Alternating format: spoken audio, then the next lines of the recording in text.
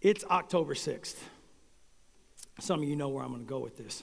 Others you don't, and you can boo me later. But listen, summer's over. Let it go. All right? It's like the girlfriend that you thought was perfect at summer camp, and then you realize she really wasn't that perfect. You were just like, it's time to move on. And here's why it's time to move on. Some could argue that fall is the greatest season of the year because it's the most beautiful time of the year. It is, right? It's just trees are changing. But all fall does is just prepare us for the greatest time of the year, which is winter. Winter's, don't boo. Who booed me? You can't boo me. That's security. All right, so I was reading on the Farmer's Almanac this week. I don't even know who this farmer is that does the almanac, but listen, I love his prediction. This is the prediction for this year. Above normal temperatures, everyone should be happy with that, right? But above normal snowfall, which is yippee for me, right? Like we get more snow, so it's not as cold, but it's beautiful, and then it gets even better. It says Ohio is just gonna get dumped on, which is great because no one really likes Ohio, anyways, right? All you Michigan State fans are like, woo! All right, I'm just joking. I'm sure God loves Ohio people. Um, last week, Nate did a great job. Uh, talking about some very difficult and controversial topics. And remember what he did? He asked us a bunch of questions and he asked us to weigh in on those questions. Do you remember how unified we were on that? Not so much, right? We all really quickly learned that we all have our own mindset of what we think is right. This week, uh, Nate and I were in the office and we ranked the top three Little Debbie snack cakes in case you're wondering how theologically deep our conversations are during the week. Uh, and uh, and we didn't have the same answers, not even for the top three. And so I was actually texting back and forth with Phil, and I, I asked him his thoughts, and he and Nate both had Nutty Buddy as the number one. And I was like, You both are skinny. Like, you don't even know what you're talking about, right? Like, I am clearly the winner on this, and just you guys are wondering, right? It's a Swiss cake roll. Swiss cake rolls are, thank you. They're always good in the fridge, in the freezer, outside the fridge in my mouth like they're always i love you can you can give me boxes of them the point is, we're all, we are all very unique, aren't we? We're all wired very differently, uh, but similarly with one goal, and that is to serve our Creator, worship Him, but none of us are the exact same. I think about identical twins. We have a couple sets of twins in our church, um, and and they look like a mirror image. Like the Dykstra twins, I have called them by the wrong name so many times. I feel bad every time. I'm like, I just can't tell. They're like that. But when you get to know them, what you do is you find out they're very unique. They have uh, their own makeup. So, what I want to talk about this morning is that every single person in this room, every single person in this world has a story, and your story matters. It's powerful and it's unique and it's yours and it's what shaped you into the person that you are today. Now, some stories are not easy to talk about. You have to relive past pains and trauma and hurts. But I am telling you, your story has to be shared. Because even though you are unique and God wired you one way, the world's so big that somebody else is going to have a very similar story. And you're going to have a connection with that person that I probably never would have a connection with.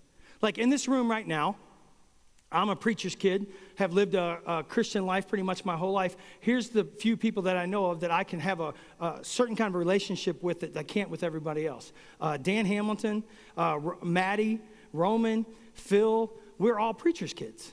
We all know what that's like to be raised in a preacher's home. So we have a, a connection that everyone else will have, won't have. Uh, and our stories can sort of seem boring. They can almost seem ineffective to some degree. And I'll talk about that later and how that's a lie from Satan. But in this room right now, uh, we have stories of addiction. We have stories of trauma. We have stories of triumph. We have stories of failures. We have stories of people who have been incarcerated. We have stories of people who have lived goody two shoes lives. And we are reminded of just how unique each one of us are, and yet we have two common denominators. Those two common denominators are this we are created in the image of God. His DNA is all over you, all over every single person. And then the second thing is that we are just sinful by nature. Like none of us can come to God and say, I've earned salvation, that I've earned this relationship status. It's by grace through faith that we know Him, and even better yet, that we are known by Him.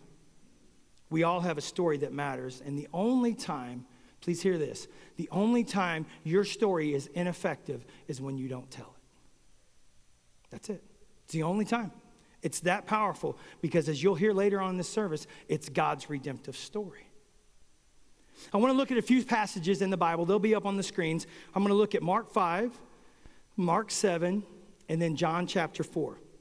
It's a decent amount of reading, but there's a lot that I think we can learn from these three different instances in the Bible. The first one is Mark chapter 5. It says, They went across the lake to the region of Gerasenes, sure, uh, where Jesus got out of the boat. A man with an impure spirit came from the tombs to meet him. This sounds fun. This man lived in the tombs, and no one could bind him anymore, not even with a chain. For he had often been chained hand and foot, but he tore his chains apart and broke the irons on his feet. No one was strong enough to subdue him. Night and day among the tombs and in the hills, he would cry out and cut himself with the stones.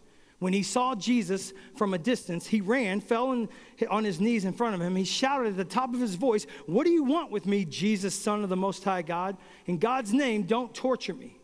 For Jesus had said to him, Come out of this man, you impure spirit. Then Jesus asked him, What is your name?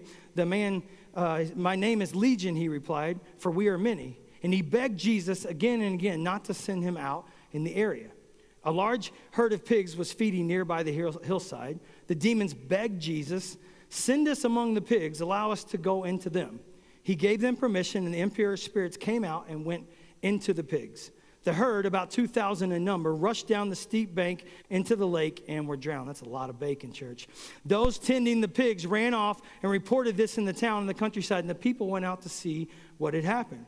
When they uh, came to, to Jesus, they saw the man who had been possessed by the legion of demons sitting there, dressed and in his right mind. And they were what? They were afraid. Those who had seen it told the people what had happened to the demon possessed man and told about the pigs as well. Then the people began to plead with Jesus to leave their region. He's like, You just killed a bunch of pigs. Like, there's no reason for that. And that's how we make money. And Jesus was getting to the boat. The man who had been demon possessed begged to go with him. Jesus did not let him go, but said, Go to your own home or to your own people and tell them how much the Lord has done for you and how he has had mercy on you. So the man went away and began to tell uh, at the Decapolis how much Jesus had done for him. And all the people were what? Were amazed. Why were they amazed? Because they knew his story, right? That he was demon possessed, chained like an animal, forgotten, unwanted by the world, harming himself, just wreaking havoc over on the side of a hill, playing like jumping out of a tomb like a crazy person. And now he's talking to people about the greatness of Jesus Christ.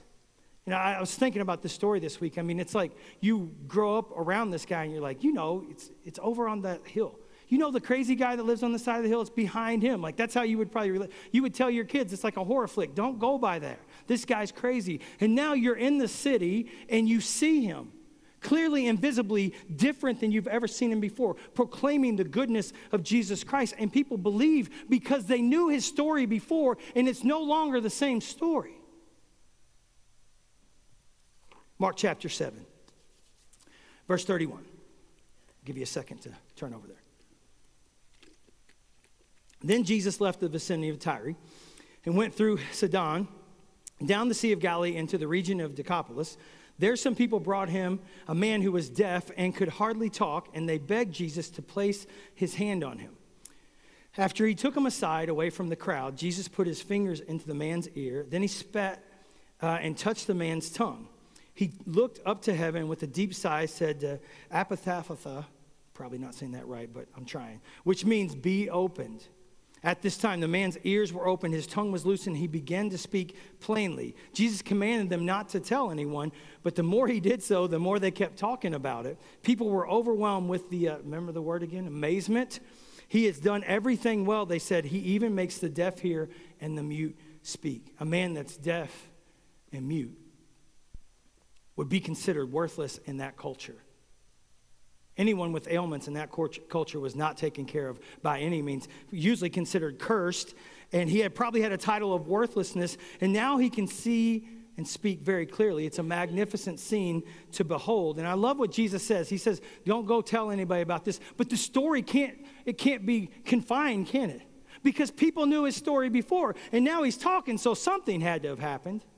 Now he sees, and his story speaks for itself. And it says, People were overwhelmed with amazement of his story. In John chapter 4, last week, Nate referenced the woman at the well. Amazing story about how he had, was sitting there talking to her, and he tells her about her five husbands that she had had, and that the man she's living with now is not her husband. And he kind of calls her out on our life, and then he still says this He says, I can give you life from a well that doesn't run dry. And she says, Well, I'm sure hoping that one day we see the Messiah. He's like, Yeah, you're talking to the Messiah.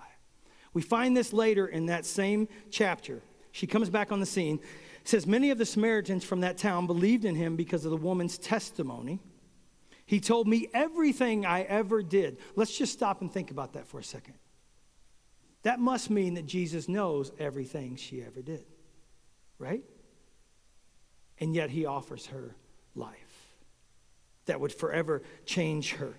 So when the Samaritans came to him, they urged him to stay with them, and he stayed two days. And because of his words, many more became believers. They said to the woman, We no longer believe just because of what you said. It like they did believe at some point, right? It's because of her testimony. But now we've actually seen it, we've heard it for ourselves. We know this man really is the Savior of the world.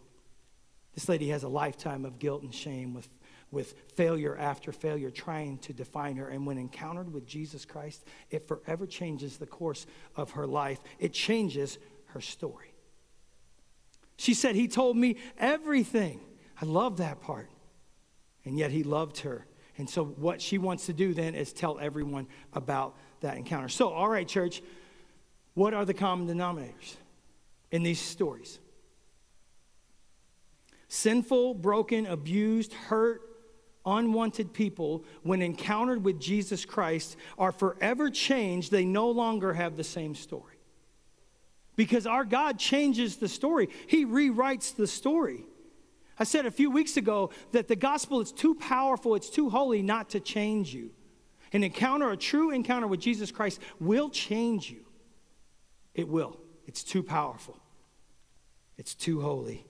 He rewrites the story. Now, this is only three of hundreds, hundreds of stories in the Bible of life changing stories of when God just shows up and does these miraculous things. While we encounter uh, Jesus, and changes us to the point where we want to tell people about that.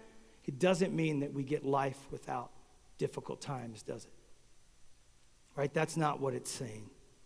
The question is can we use the difficult times, the difficult seasons, the t- past trauma, the stuff that we went through, can we use that for His glory? Does your story really matter? I'm here to tell you it does matter, but we have to look at it. We think about Paul referenced it as thorns in his flesh. Can those thorns in our flesh that want to define us so badly, can they be used for his glory? When I was 12 years old, I uh, I was a normal 12 year old boy, which means I, I stunk. and I played all the time. Back then, there was no, there was no devices, right? So you just played outside. And so I played all the time. And I was at church camp in 1985. I'll never forget it. I had played all day long to the point of exhaustion. I mean, that's what church camp does. You just get worn out. It's so much fun. But the next morning when I woke up, my ankles, both of them had swollen, huge, and they were locked in place. They would not move and I couldn't walk. And I had this for almost a week straight. My parents took me to specialist after specialist. Over the course of about three months, I went to almost every doctor you could see for this young 12 year old boy that now couldn't walk like a normal child. And what they did is they took a bunch of tests, and what they came with, they don't even know if the diagnosis was right, but it was such a rare thing. They said, We believe it's some sort of rare case of JRA, which is juvenile rheumatoid arthritis. But what they couldn't explain is how it happened overnight truly overnight. Like it just, so the year before that, I had been diagnosed. I got really sick and ill, and they, they thought I had scarlet fever. I almost died. I was a young kid. And the year before that, they thought maybe they misdiagnosed that. Maybe I actually had Lyme's disease, and this was part of that. So no one really knows. But here's what we do know for 34 straight years, I have taken medication every day of my life to be able to walk. You probably didn't know that.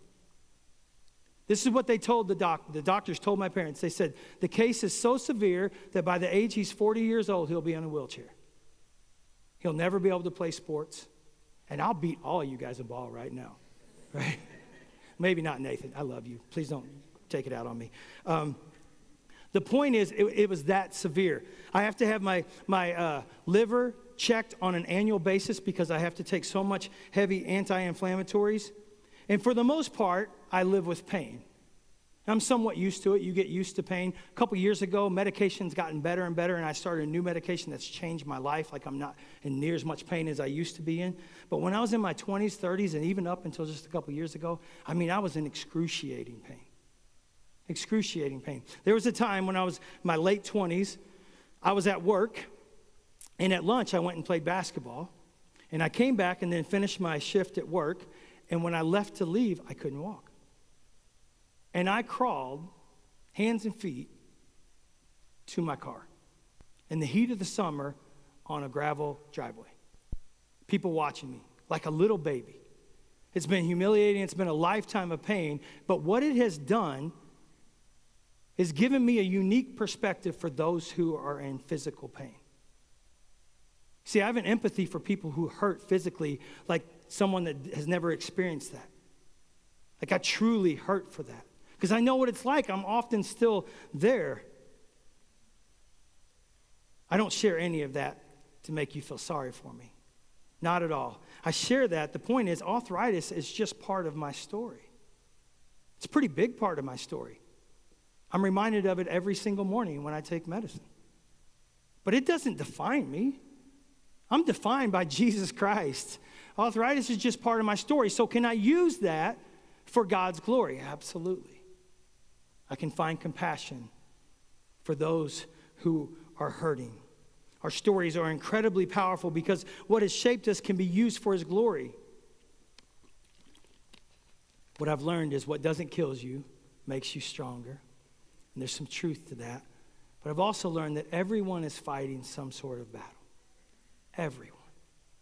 Not always physical. Everyone's definitely fighting a spiritual battle. So tread lightly, tread compassionately, love people. God does not make our lives perfect in the here and now, but He does change our stories. Three stories that I read this morning demon possession, chain, utter torment to freedom and a life of mercy and grace. Jesus takes the blind man and the mute man and allows him to see and speak clearly. And then he tells the woman at the well, I can forgive you no matter what your past is. Everyone has a story that matters, but only if you tell the story. Your story matters because it's God's redemptive story. I love in Revelation chapter 12 when it says that Satan is the accuser of the brethren. And this is what it says about that it says, They triumphed over him by the blood of the Lamb, Jesus Christ, and by the word of their testimony. You see, you could argue with me all day long that God's not real, but you can never change my mind because I've experienced him. I know he's real. I feel it. I felt a change. Even as a, a kid that's grown up in church, I know God. I have felt Him. That's, that's my testimony. Our story, our testimony has the power of God in it, which is why it has to be shared. And we don't have to pretend that everything's perfect either, church. This is actually a good thing for all of us to hear. Your doubts, your frustrations can be your, used to help spur other people on. I remember what uh, the psalmist said that he remembers our framework that we're merely dust. He understands that we're flawed. What you have experienced can and will connect with people. You just got to find those people. And God, it's usually the Holy Spirit that opens those doors, and all of a sudden you're like, man, I have a connection with this person that I can use for God's glory. Like, I, I think about my life. I can't really connect with somebody that's ever had an addiction. I've never drank, I've never smoked, I've never tried drugs. So for me, even though my story matters, I'm not really connected in that way. But some of you have a redemptive story where God took you from addiction that used to define you and made you who you are today. You have a connection with so much of the world that I would never have the ability to touch. The question is will we use that for His glory? You can use your story for God's redemptive story to connect with and empathize with others in a way that I never could do. And then you can go and tell them about the greatness of what Jesus does, that He redeems lives. Church, that's good. That He redeems broken lives. You can walk with them. You can encourage them. You can be to them what they so desperately needed when they were stuck or when you were stuck in addiction. You can be that person that fights for them. I truly believe that no matter how negative our life has been, no matter how many things that we've went through, that all of it can be used for his glory. I'm not saying that's easy either, but I believe it can be. I believe we can use it for his power to do the miraculous. Many of us in this room were raised in church. Matter of fact, if you were raised in church, just raise your hand. Just look around. There's not very many people who weren't raised in church. This area that we live in up here is a, is a predominantly religious area, which means you probably were raised in church. Um, those of you who have never had a season where you really wonder from God, or at least you did, but you're kind of back now, can easily think our story isn't as powerful or as effective as those stories that we know about the upside down life transformation where God just does this awesome and miraculous thing. But I'm here to tell you your story is just as powerful. Because right here in this area, there are all kinds of people that were raised in church that no longer go to church. They've struggled with the same things that you've struggled with. And you can have empathy to walk through them uh, on a daily basis. You've walked with the ups and downs of the church the good, the bad, the ugly. The church splits, the, the messy church hurts. You have plenty of unanswered questions pertaining to God the unanswered questions that you've desperately tried to figure out in your head and you've got nothing. It's not easy to go through life and live up to God's standards, which is how we were raised. And so you felt that. And you, we are often the ones who struggle with self righteousness too. We will say we've lived a certain kind of life, and so we want to hold other people accountable. And so we struggle with a weird pride. We have struggled with the complexity of scriptures. We have had plenty moments of doubts. We have wrestled with the evils of this world, all the while wrestling with God because of this world being so evil. Oh, your story matters. Because they're doing the same thing. They just need to know that somebody comes alongside them and says, It's okay. Let's walk through this thing together. Let's do this together. You have a story, and it's the redemptive story that says you are not saved because you were raised in church. You are not saved because your, cha- your parents believe. You are saved because you believe that Jesus Christ died for you and you have given your heart to him. And by grace through faith, he is honoring that salvation where you get to be in heaven. That church is amazing. Even while we struggle, in those difficult times, even when we don't have all the answers. I mean, I can tell you, as a Christian, a lifelong Christian, there are plenty of times when I say, I believe, but Lord, help my unbelief because I'm confused. You know how powerful that story is? To a world out there that feels like they have to have it all figured out first. What a lie from Satan, right? God can walk us through all of this. Who have had church hurts, and you say, I know because broken people lead broken people. It's going to happen at some point. To see a person who has devoted their life and yet still struggles in many of those areas can change someone's life. Who doesn't have great answers for all things theological, but they just want to love people. They want to show people that Jesus has changed their life. That story still screams of the greatness of God that if you'll use it to walk with people and disciple them. 20 years ago, from the pulpit, you would almost hardly ever, if ever, hear a pastor talk about their failures, their sins, their shortcomings, their insecurities. I can tell you that because I'm a pastor's kid, so I know.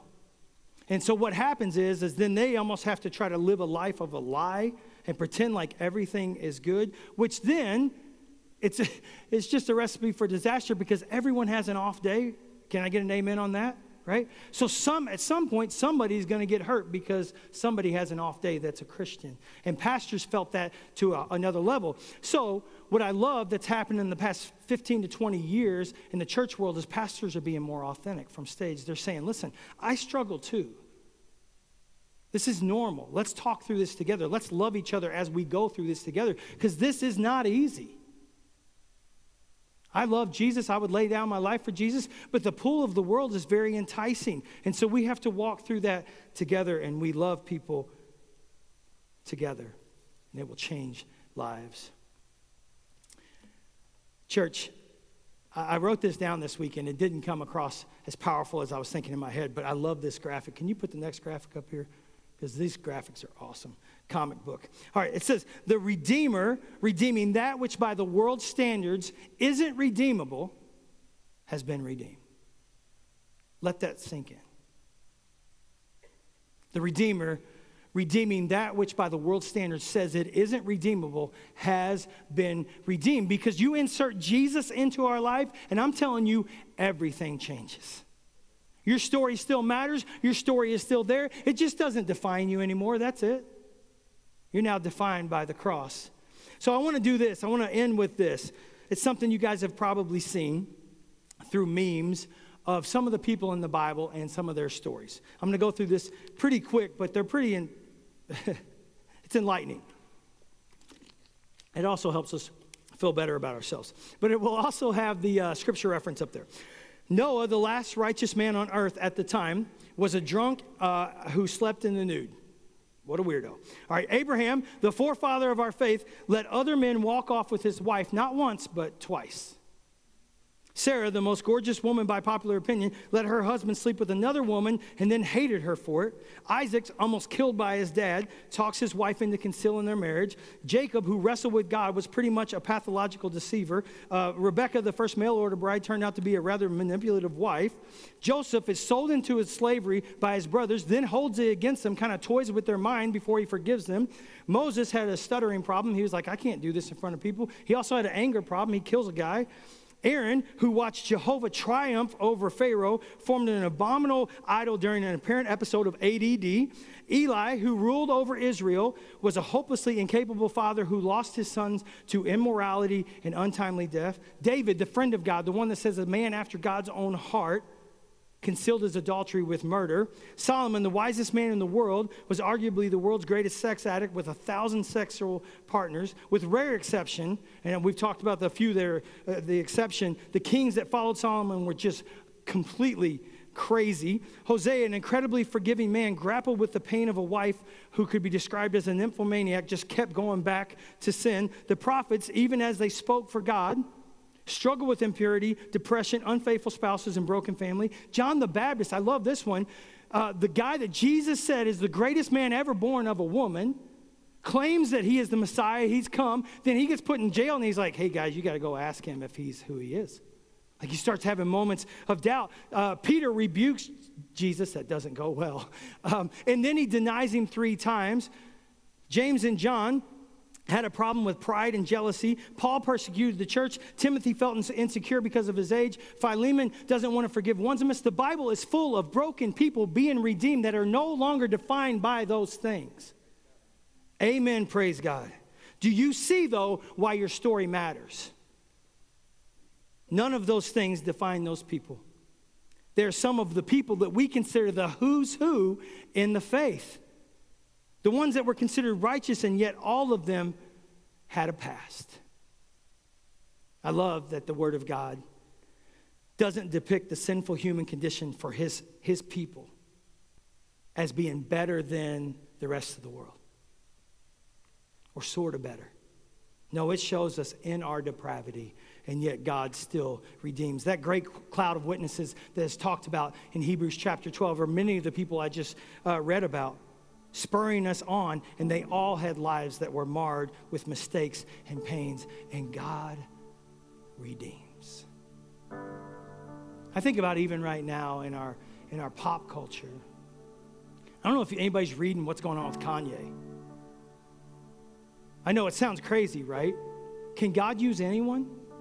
I think, I think the point is yes. Kanye's doing like full on services. He said, I'm not going to do anything secular anymore. He's got pastors telling people that Jesus is the only way to Christ. They're doing on doing baptism like it's crazy. What's happening with Kanye? He's crazy. He may be crazy.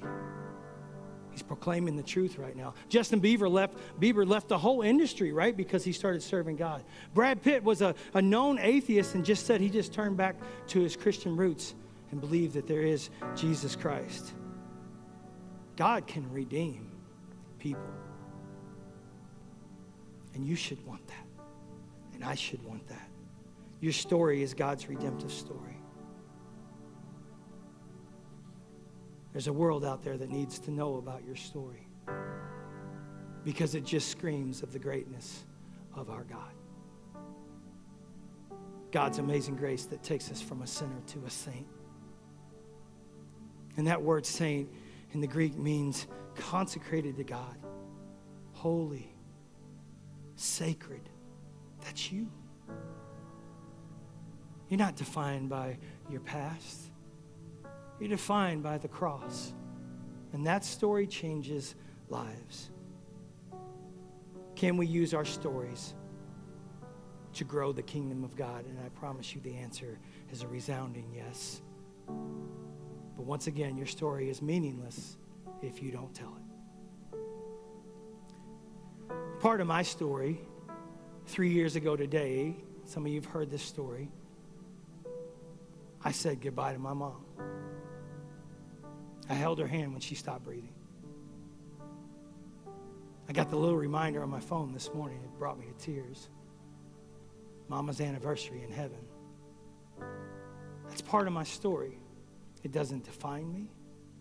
But what it does is allow me to now have a connection with people who have lost loved ones in a way that I never had before. To walk with them, to empathize with them, to love them through the very difficult time. Some of you, that is your story. We have that connection that our parents were gone too soon. Some of you have even a worse story. You've lost your child. Someone else in the world has that story. And they need to know that God can walk them through even the most difficult times in this life. Your story matters, church. You just have to share it. Let's pray. Lord God, we love you that I truly do. I love the fact that you redeem really, really broken and messy, jacked up people like myself. That you come down and say, I won't hold any of that against you. You're my child. Let me change you. Let me walk you through this. Let's use everything that you've had to go through for my glory. Let me tell more people about the greatness of Jesus' blood that washes us clean. Father, for those of us in this room who've struggled with sharing our story, give us a boldness. I believe that the Holy Spirit provides that power to, to, to come to us and boldly proclaim the gospel, to share our story and what the gospel has done for us. God, may we do that ever so boldly like we've never done before. May we change this world for your glory, God. And we say thank you for loving us. For those, God, that haven't given their heart to God, they haven't given their heart to you, God, today, may you just draw them to you ever so softly that they hear your voice say, I love you. Pray that you would just soften their hearts to come start a relationship with you today. Pray this in your name, Jesus. Amen. There'll be some people that would love to pray with you after here. Uh, if you haven't given your heart to God, we would love to walk you through that. You're not signing up for anything. You're not going to get a bunch of goofy emails. You're just going to get to be told that Jesus Christ loves you, even right where you're at. He can redeem you. If you want prayer about anything else, there'll be people in the back. But I, I want you to do one more thing before we go into a time. I want you to take out your bulletin. Come on. I see you. Some people just stare at me like I don't see them. I see you. Take out your bulletin, and I want you to write and if you didn't bring your bulletin in, you have homework outside of this, okay? I want you to write down your story. I want you to write down your story, your testimony. And here's what I want I want you to write it a few times until you get the kinks worked out. I want you to get it where you know it. And then I want to encourage you to do a brief story a medium story, and a full on here is my life story when God opens those doors. Because the little brief story in, in Meijer as the checkout lady's having a bad day, you got 30 seconds to try to share your story. You need to know that. But there's going to be opportunity where God opens a door and you can share your full on life transformation story of what Jesus Christ has done for you and all the difficult times. They weren't easy, but man, they have, so you have seen God work through those things. You can do that. In 1 Peter 3 15, it says, But in your hearts revere Christ as Lord. Always be prepared to give an answer to everyone who asks you to give the reason for the hope that you have. You have to know your story. Because it's his story. And it's too good not to, to share it with people. But do this with gentleness and respect. Why do you have hope? You need to know. You need to share it. You can be like, listen, this is what my life used to be, and now look at where it's at. Only God could do that. I want to encourage you to stand and worship with the worship team. Really go after God. Spend some time just giving Him praise and glory and honor for what He has done for us because everyone in this room who are believers in Jesus Christ, we have the same story. It is God's redemptive story. So let's give Him praise.